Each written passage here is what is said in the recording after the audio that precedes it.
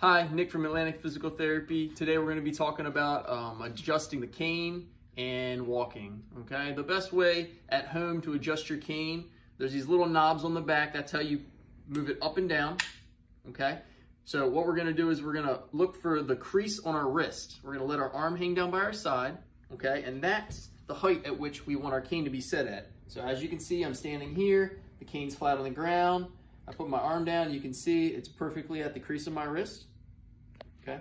Another thing is when we talk about walking, I have this on my leg just to show that this is my affected side. We always want to use our cane on the opposite side of our affected side so that when I step, I have a good base to support. The cane supporting my right leg.